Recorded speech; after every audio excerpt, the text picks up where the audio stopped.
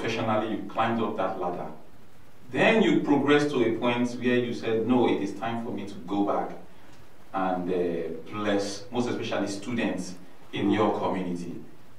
At what point did you get that trigger? The desire to do that has always been there. Okay.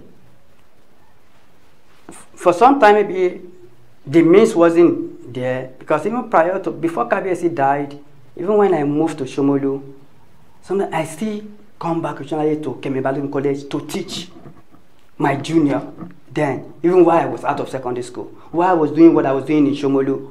So I just come in, in when they are praying for exam, just do that. But after KBSC's death, I decided not to go to Ibishi again for a while because of some things happening within the community. Then I just got to stay off. I don't want to be part of anything, any controversy. So, so I was just there. So when I was in Canada, I found that because I still maintain what I was doing in Shomolu.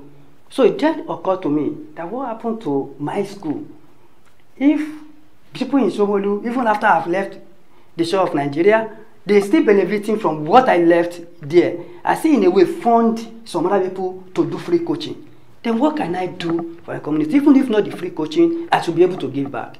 Then I remembered, okay, but I also got a scholarship. Then I look at it, okay, I got two scholarships, one by Senator Ogunlewe, one by uh, Chief Alugba.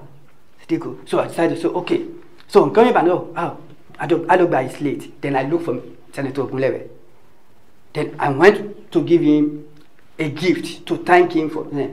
So he never even, he doesn't even, I mean, he knew a lot of my siblings, but most of them don't know me because when it comes to it, because those ones were probably politicians, I am not. So he, he knows those those ones, but he doesn't know me. So, but when I went to him and I just introduced myself, so so so so, I benefited from the scholarship you did in uh, come here. But I know the scholarship is no more there, so I just come to say thank you. But I want to start from where you stop. I want to start giving scholarship in Kenya. And that was why he gave me his blessing, I said, and he gave me the support. And that was how the whole thing That was how the whole thing started in 2021.